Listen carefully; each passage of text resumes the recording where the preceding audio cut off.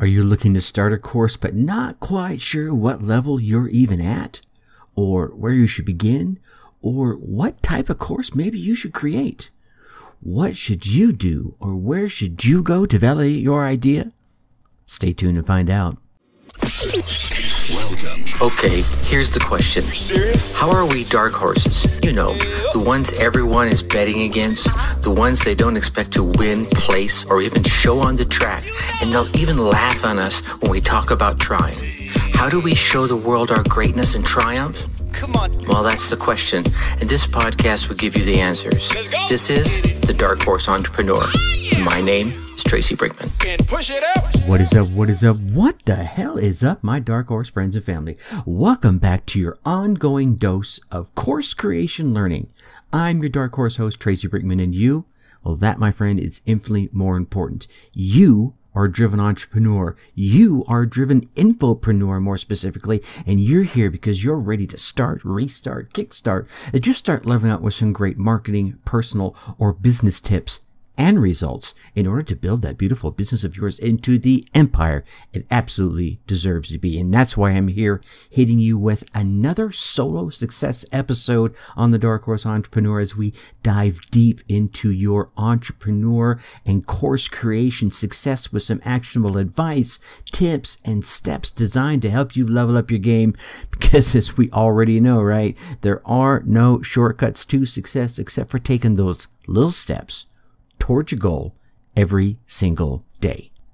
Now, today we're going to be chatting about the four types of course creators that I think are out there. But before we kick this off, I want to make sure you keep getting all these success tips in infopreneurship and course creation and to make so to make sure you keep getting them go on down there and hit that subscribe button if you're listening to this for the first time maybe you want to listen a little further but once you get that first gem pause it go on down there, hit that subscribe button. While you're there, go ahead and leave us a five star rating and drop us some kind words in the reviews.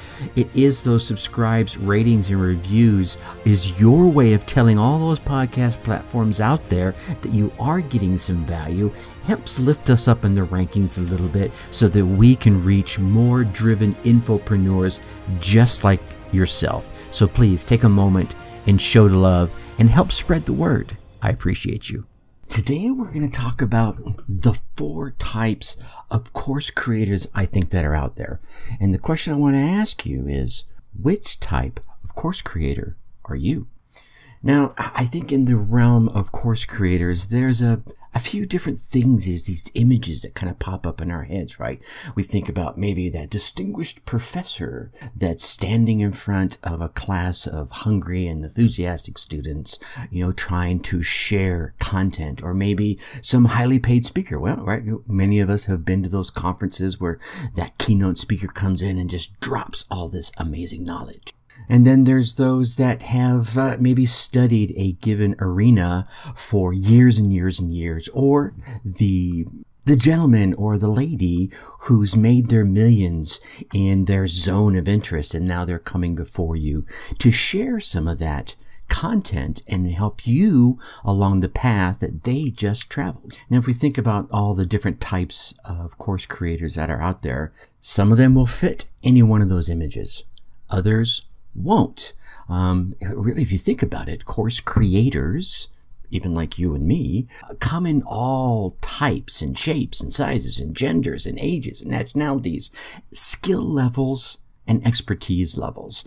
And all that said, I really think if you're listening to this video or listening to this podcast, you have a course lurking inside you. And if, I don't want you to take this lightly because it's not like you're just going to push a button and all of a sudden, boom, there's my course and you're going to make millions of dollars because it, it's not stupid simple, but it is pretty easy to do. Because again, I think each of us have something inside of us that we can share to help empower others, to help teach others, to help bring others along a path we may have traveled and hopefully help them avoid some of these stumbles and bumbles and falls and face plants that you and I have experienced. Help them face their challenges and go under, jump over, go around, or bash through the restrictions and the barriers and the challenges that we know they're facing. And after years of being in the coaching arena and the online space and doing podcasting and, and chatting with folks of all levels, right? Billionaire levels all the way down to the guy that's just dreaming about it. I think I've, I, I want to bucket uh, course creators into four types. And that begs the question I asked you just a little while ago. Which type are you? All right. So type number one is the insider.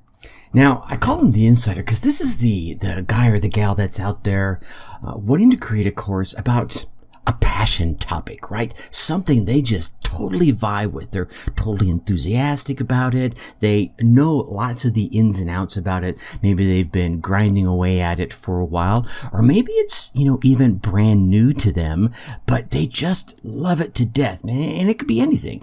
It could be hairstyles, how to braid hair, plucking eyebrows, doing gardening, motorcycle riding, cars. It was the, the, topics are endless. Martial arts, right? MMA. But at the end of the day, they don't really consider themselves experts, but they do know quite a bit about their topic or hobby. And even if they don't realize it themselves, right, they do find that when someone shows an interest in that topic or hobby, they come to them because inside that friend's or that family member's circle of influence, you as the course creator, as that insider, are their expert, right? And as a result of that, you're like, hmm, I do know a lot about this, and perhaps I could derive a, a, little moniker of income by sharing my knowledge. And as I continue and get better and travel further down my road of my insider knowledge, um, I can become an expert and lead myself down towards those other three levels that we'll be talking about here. Now, as an insider, you're going to think about, well, how could I do that? Well, I think there's probably a few steps you can go through to help begin to teach others. And I think the first step you're going to go through to, to help do that is, of course, to validate your idea, to make sure that there's enough interest out there that you could derive a little income. Because, and I heard this example given uh, by a fellow podcasting friend of mine who said that if you're super passionate about licking drywall, I'm not sure there's a real market out there uh, for teaching on how to lick. There might be. I don't know. I could be trumping on something that's you know maybe the next millionaire is going to come out of. But you, you get my point here. So you can start poking around the internet and you know eavesdropping, you know, doing a little, uh, we'll call it research, um, through some social listening, poke around out there in different uh, social groups, uh, looking for trending hashtags. If there's a, if there's enough interest, and when I mean enough interest, if you see people in Facebook groups or having threads on Twitter or having threads on any of the social platforms around your passion topic, then there's probably a great opportunity for you to leverage your knowledge into an online course. And if I want to give you some more specifics about where to look, look around for blogs. So whatever passion project, you know, licking drywall, if we look at that, if I go looking for licking drywall blogs, and I'm not going to do that right now, I just thought maybe I should, um, you could go look and see if there's, uh, you know, a number of blogs out there. The more blogs you find about a given topic, right? Uh, the more interest you can guarantee is out there. Uh, again, like I mentioned earlier, you could look out for Facebook groups um, or other communities and forums where the uh, potential customers, uh, potential buyers of your online project, your online course will be gathering. Uh, think outside the box a little bit here. There are new platforms like uh, Mighty. Oh, what's the name of it? I can't think of the name of it. It's Mighty Community or uh, Mighty Networks, that's what it is. Uh, there's another platform out there called Mighty Networks that a lot of folks are coming off of the Facebooks and going to Mighty Networks and starting their own community so they don't have to pay uh, to reach the uh, the members of their community like they have to do in the Facebook groups. Um, you can look around at Amazon, search some of the products out there. If there are lots of books and uh, uh, pieces of products out there available, and then look at Udemy, or is it Udemy? Anyway, however you pronounce it, U D E M Y, uh, and look for uh, courses out there. Certainly give you a great idea if other people are leveraging that knowledge that you have uh, to share courses there. And then check out the reviews. Here's a good little insider tip right here. If you go and check out the reviews of say the amazon books and magazines that may be out there as well as the udemy reviews you can see what they really loved uh, about a given course or a book and what they thought was missing and you can make sure to make sure both of those are in there. If they loved, you know, something about oh, uh, the type of drywall to lick, right? Make sure that's in your course. Um, if they commented that, well, they forgot to tell me about licking dry drywall versus painted drywall, well, make sure your course has that missing piece and you'll shine above the rest. You can actually use that in your marketing. And I've mentioned social media time and again for your research. Lots of opportunities there. So that is for my burgeoning starter person that's out there that we're going to call the insider. Level number two, let's call this guy the journeyman.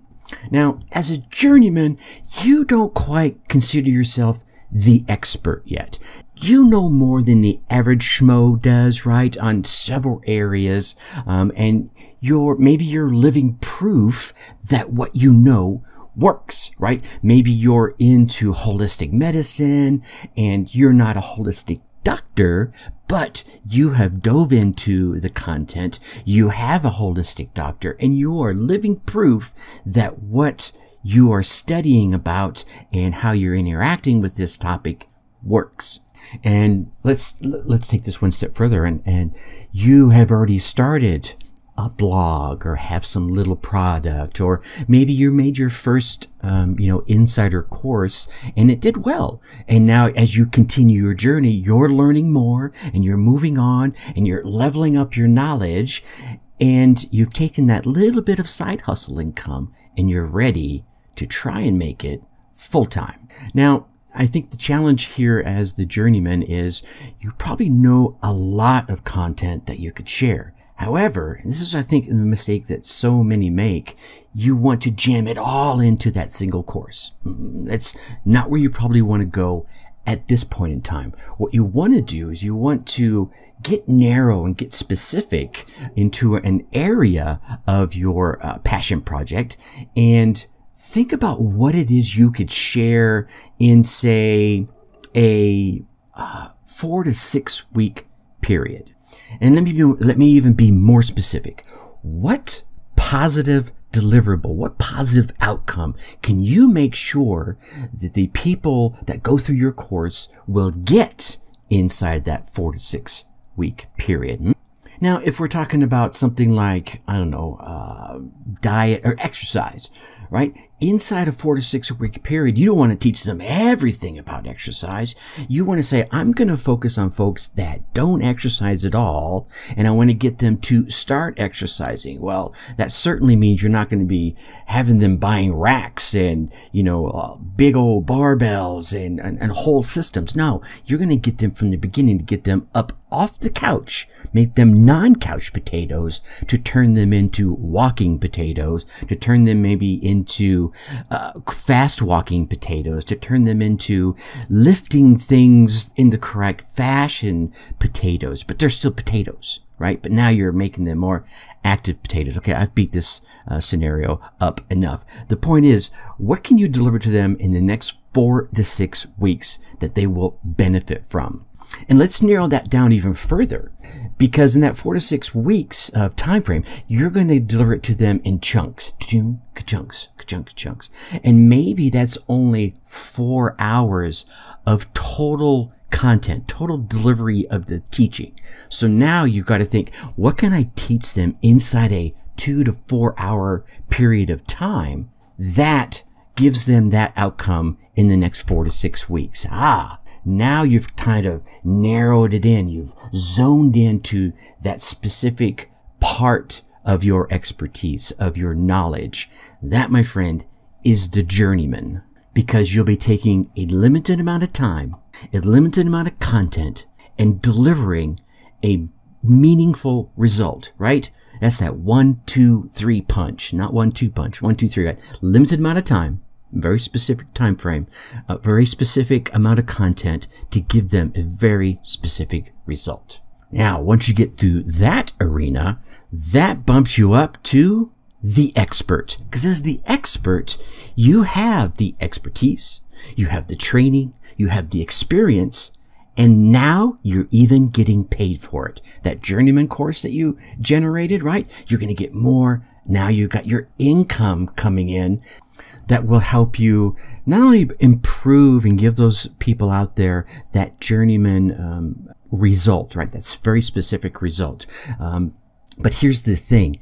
Your, your income doesn't quite match the depth of your knowledge. When you get to that journeyman level, you're going to be growing your knowledge probably at a significant rate because the people that are going through your journeyman level course are going to be asking you additional questions. You're going to see additional problems that you know you can deliver the results to. And I think traveling the road this way really helps you narrow in because you have expert level um, knowledge by this point, you haven't quite figured out how to leverage it to that expert level income. And I know I'm repeating myself a little bit here, but going through the path this way helps you tap in and listen to the conversations of those that you're teaching via your previous courses so that you can do two things really here. One, you, again, you can find those potential customers and clients that are experiencing that next level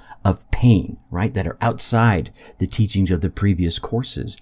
And they're willing to pay for it. They'll say it inside the dialogue, inside the course, especially if you open comments. A lot of the platforms will allow you to do comments on there and they'll start typing, well, what about this? If you could solve this problem for me, right? And you'll start hearing those trends in those conversations. And if you have a, an accompanying blog that goes with your course or a forum where they're gathering, be it Mighty Networks or Facebook groups or wherever, uh, and that discussion opens up, they'll be putting it in those comments as well. So again, you're going to come back to the, the journeyman step of listening to the conversations uh, that are out there. But now those conversations are going to be your customers and your clients, or those that were at least interested to step into the conversation. Maybe they haven't bought from you yet because your previous level content, they've already solved that problem. They have the next level problem and they're asking you about that. And here's another thing. Now that you have those folks into um, your area, into your forum, into your little network, perhaps it's time just to interview them. Ask your target audience about their problems that are in your area of expertise. You're now listening to, to the Dark Horse Entrepreneur Podcast. And let's stretch it one step further. Something like I, have done many times on this podcast is bring in other folks that are uh, experts in your same field, or maybe a, very specific niche in say the same field, or an ancillary field just outside. So if you're talking about diet and exercise and you're focused on the exercise, we'll bring someone in that's all about the diet, right? And and bring in something in and mark uh, what it is that you can do to help them along those struggles. And this is just not opening your ears, although that's very important. We have two ears and one mouth and we should be using them at that ratio, but you'll want to engage into discussion, engage in the communications with those folks, uh, not only in your groups, but in other groups that are outside of yours on the same topic that you're looking to pilot or that you're currently piloting by this point.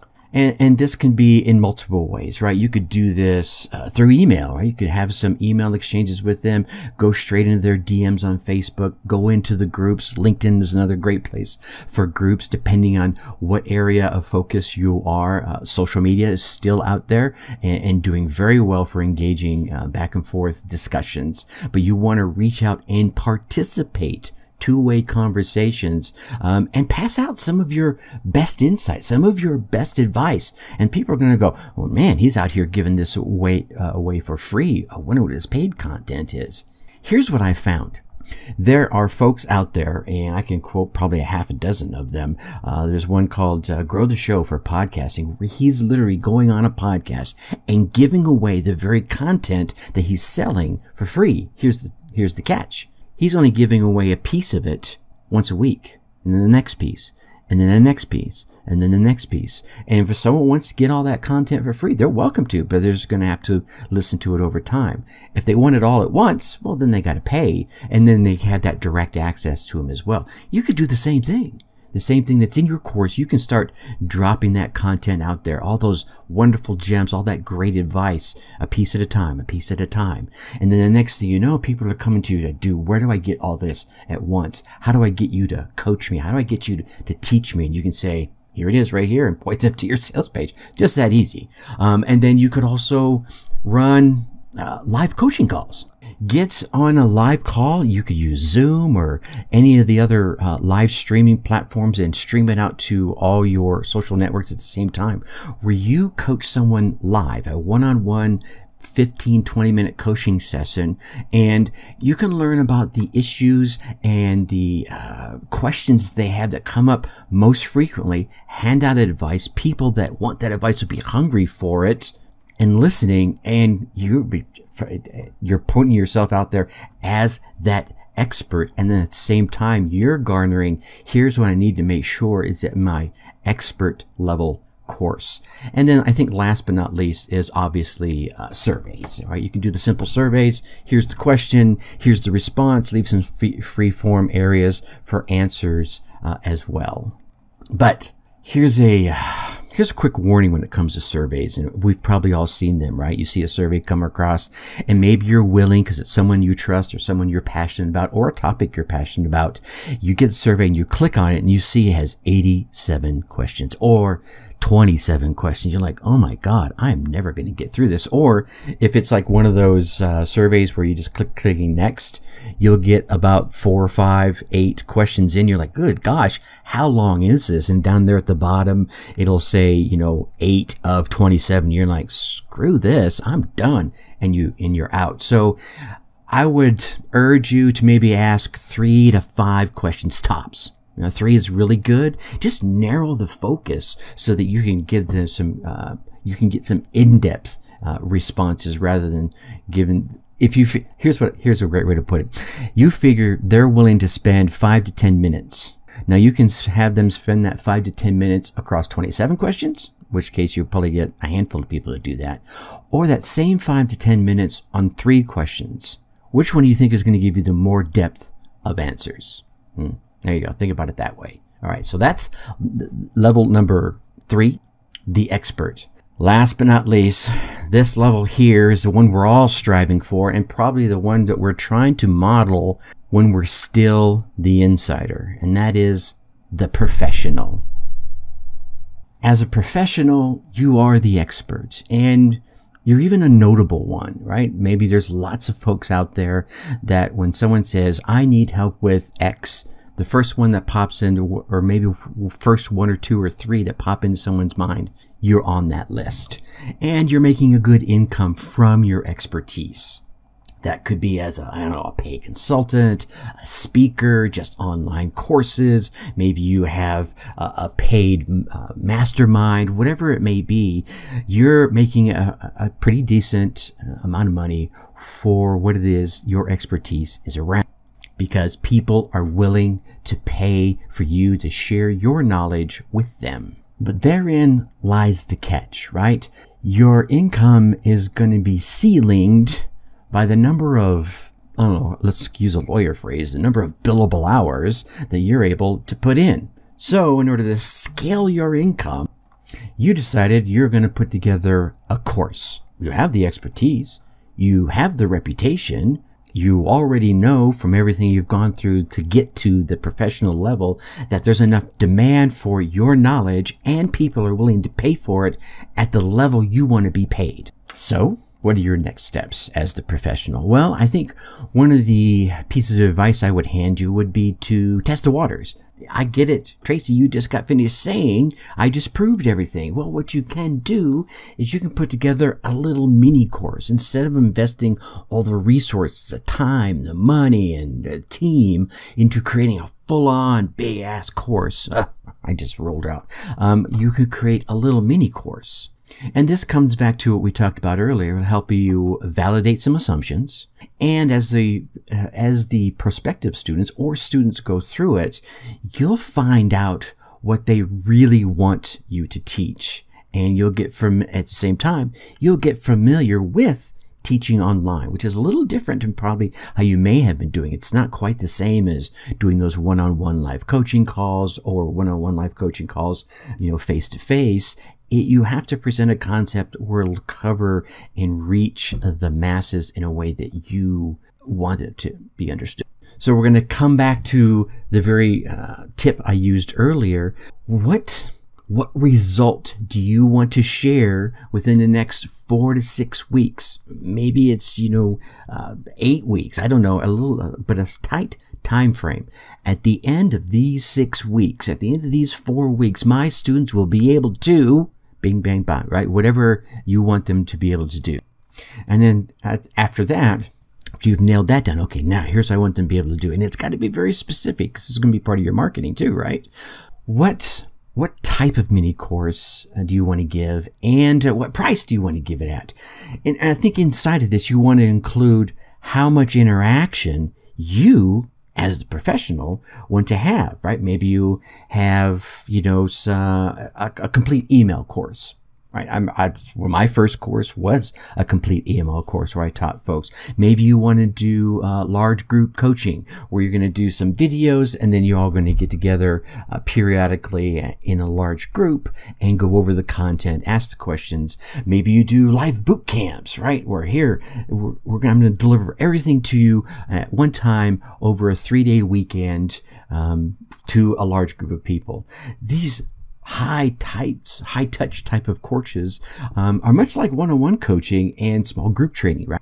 Or maybe you want to, um, maybe there's a mix you want to do. Hey, I'm going to deliver some content by email or by PDFs or by videos. And then we're going to get together once or twice a week uh, via Skype or Zoom or whatever video conferencing or teleconferencing combinations that are out there. And now the student gets to go through the learning content with you teaching them and then gets the opportunity to one-on-one uh, ask you the questions during those uh, video and teleconferencing sessions. Once you have that combination laid out, well, now it's time to plan the curriculum for your course. Now, when you do this, don't get all ah, like me. Don't get too detailed. Okay, day one is this, day two is that, right? I think you want to have a quick bullet point. And here's why I want you to have this quick bullet points. Here are the pieces I need to teach them to get them to that ultimate uh, result that you promise to deliver. Because if you get too detailed, you're going to deliver that uh, you get too, excuse me, if you get too detailed in order to deliver that ultimate result, then you might not hear your students as much as you need to, right? Because day two, we're going to do this. And, but when you get to day two, the students are going, well, what about this? And what about that? And what about this? You'll be so focused on, well, we need to get past this in order to get to day three, four, five, and so forth. Whereas if you have it kind of loosely. We have to get through A, B, C, D, and E.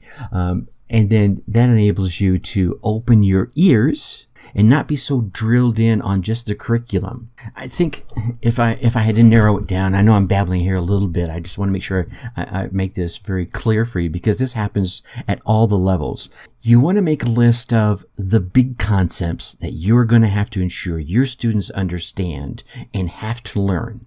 Those, those are going to be your, your main lessons. And each lesson can have some bullet point topics that you want to cover. Here's what I would suggest you do. You have three big topics, and inside those three big topics, you have three main lessons, three by three. If you can keep within that three by three, that enables you to convey your expertise, your professional expertise, and still leaves you enough bandwidth in your head and for your ears to hear the concerns of your students as they're going through. You can say, Hey, I'm going to address that over here in this one, or no, you're right. I missed that as I was laying this out. Okay. So that's planning your curriculum. And the last one is obviously you want to sell your course. You're going to get out there. You're going to prime your network. You're going to float the idea of this pilot course, offer them, you know, anyone who's interested in and enroll them. And then finally, you're going to deliver. But it's not just deliver. I think you want to deliver this with the attitude, what do I want to say, of a scientist, right? I have a hypothesis that if I teach you this, you'll get that. And if you go into it with that type of attitude, as things start to unfold, you'll either prove or disprove that hypothesis. If the hypothesis is wrong, well, then you'll go back in, alter the, the course, the experiment, if you will, and make the changes that you think need to be made or that you're hearing need to be made in order to deliver the result that you promised. Again, go in with that attitude of that uh, scientist so that you can mold and shift. You want to take all these ingredients and get that ultimate result. To do that, you might have to shift around the order of the ingredients being added to the recipe. So, let me ask the question. Where at are you? Which type of course creator are you? Are you the insider? Right? You're still, you're just passionate about it. You're still learning. You're early on in the journey. Maybe you're uh, a week, a month, a year into your passion project and you want to educate others and bring them along. Maybe they're at zero. You want to bring them up to a week, a month, and you're just two or three or four steps ahead of them. That's fine. You can still create a course around that? Are you the journeyman, right? You are the expert. People are starting to come to you and ask you questions about it. So you really think you have some great content. Again, what do you want to, what result you want to get them? You get them in a short period of time and that's your course. Um, and then here's the cool thing about that. Once they do that, they're ready to take, to get that next result. Dude, you did such a great job at getting me physically healthy. How about my mindset? Or how about you did a great job on increasing my pecs? Right? Uh, I, I made, yeah. anyway, that wasn't my pecs, right? You, uh, my, my pecs, now I want to work on my biceps, or now I need to work on my legs, right? Anyway, you, you see the same thing. Uh, if it, if it's in cooking, hey, you taught me how to cook these great meals. How about desserts, which is a completely different arena, right? So, are you the journeyman or are you the expert? Now that you're the expert, you have all these people that have been telling you all these great pieces of information that they want to learn about. You know, you can start teaching them. Or are you the professional? Now you can start mixing this next level, bringing people into mastermind groups, doing these great events, uh, and building up to that next level. Whatever it is, find your area and go in there with some of the tips I shared with you, and I'm sure you're going to be a great success. Now, before I leave you, as I always do, I want to ask one thing. Down in the comments or shoot me an email, tracy at darkhorseschooling.com. What questions do you have about online course creating, about creating that course, no matter where you are in your journey, whether you're the insider, the journeyman, the uh, expert, or the professional, there's going to be questions you have. I want to be your journeyman or your expert for that arena. Ask those questions. Email me, tracy at darkhorseschooling.com and whatever questions you may have. And I will make sure they get into these videos and onto this podcast so that you can get those questions answered as quickly as heck maybe even bring you on the show and have a two-way conversation with you about those questions so everyone can learn at the same time. And with that, I'm going to leave you as I always do. Think successfully and take action. Thank you for listening to the Dark Horse Entrepreneur Podcast. Thanks for tuning in. Check us out at www.darkhorseschooling.com. All right. My name is Tracy Brinkmann.